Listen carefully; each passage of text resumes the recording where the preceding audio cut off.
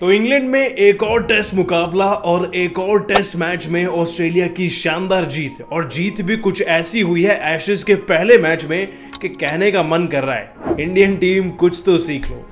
W का final अभी हाल फ़िलहाल में हुआ ही था और वहाँ एशेज की भी शुरुआत हो गई। आपको याद होगा, बड़े धमाकेदार तरीके से इस बार एशेज का आगाज़ हुआ।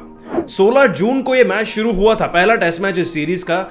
And I was literally shocked मैं शॉक हो चुका था अपने फ़ोन पर नोटिफिकेशन देखकर कि इंग्लैंड की टीम ने पहले ही दिन डिक्लेयर कर दिया। तो बहुत कम ऐसी टीमें होती हैं जो पहले दिन इतना बड़ा स्कोर बना दें।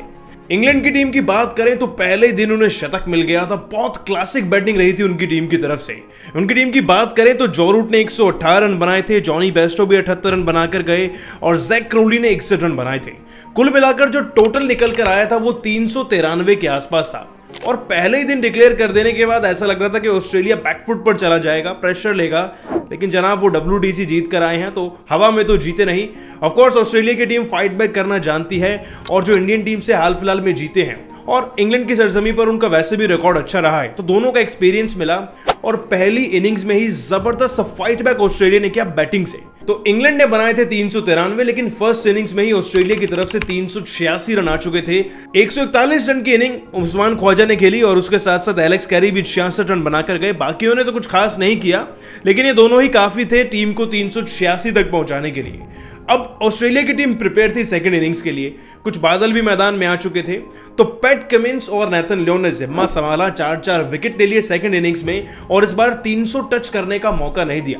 तो सेकंड इनिंग्स में ऑस्ट्रेलियन बॉलर्स बड़े अच्छे वेल प्रिपेयर्ड नज़र आए थे। इंग्लैंड की टीम की बात करें तो ज़्यादा से ज़्यादा उनके प्लेयर्स छियालीस रन की हाईएस्ट इनिंग खेल पाए थे और इन्हीं इनिंग्स के चलते दो सौ तिहत्तर रन स्कोरबोर्ड पर लग भी चुके थे। अब ऑस्ट्रेलिया के सामने टारगेट था दो सौ इक्यासी रन का। मैदान में बारिश के भी आसार नज़र आ रहे थे। मुकाबला डिले से भी शुरू हुआ डे फाइव में, और जब शुरू हुआ ना तो बैक टू बैक विकेट्स गिरने शुरू हो चुके थे। ऑस्ट्रेलिया टी टीम को रन तो मिल रहे थे। एक अच्छी पारी की दरकार थी, और लगातार विकेट्स गिरने के सिलसिले को रोकना था। और एक वक्त पर ऐसा लग रहा था कि ये टेस्ट मैच वैसा ना हो जाए जब केन विलियमसन ने लास्ट ओवर की लास्ट बॉल पे मैच जिताया था, क्योंकि माहौल कुछ ऐसा बन चुका था। आप एक इसी आंकड़े को सुन लीजिए, आपको विश्वास हो जाएगा। कहने को तो ऑस्ट्रेलिया की टीम की शुरुआत अच्छी थी सेकंड इनिंग्स में भी चेस करते वक्त, जिसमें उस्मान ख्वाजा ने पैंसठ तो डेविड वॉर्नर ने छत्तीस रन बनाए थे। लेकिन नवासी पर तीन विकेट गिरने के बाद, ऑस्ट्रेलिया की टीम को बैक टू बैक झटके लग रहे थे। और इससे पहले कि वो 210 के आगे पहुँचते उनके सात बड़े विकेट गिर चुके थे। ऑलमोस्ट हर एक खिलाड़ी 20, 15, 30 इससे आगे नहीं बढ़ पा रहा था और जीत का सारा जिम्मा कैप्टन के बल पे आ चुका था। वो थे पैट कमिंस और एक खिलाड़ी जो उनका साथ देते रहे वो थे नेथन लियोन्स एक वक्त पर लगने लगा था कि ये मैच इंग्लैंड की टीम का हो जाएगा क्योंकि उस वक्त पर लगभग 50 रन चाहिए थे जीतने के लिए और तीन विकेट बचे थे। लेकिन पैट कमिंस तो पैट कमिंस हैं। ऐसे ही नहीं डब्ल्यूटीसी विनर बन गए अपनी टीम के साथ। उन्होंने एक बहुत अच्छी क्लासिक इनिंग खेली और एक क्लासिक फोर जड़कर फिर अपनी टीम को जिता कर गए। पैट कमिंस की बात करें तो उन्होंने तिहत्तर बॉल के अंदर चार चौके लगाए, दो छक्के लगाए और चवालीस रन की इनिंग्स खेली। तो नेथन लियोन भी 28 गेंदों में 16 रन बनाकर गए। कुल मिलाकर इस मैच का सार यह है कि पाँचवें दिन में ऑस्ट्रेलिया ने मैच को जीता है। वो भी दो विकेट के अंतर से, वो भी टेल एंडर्स के साथ।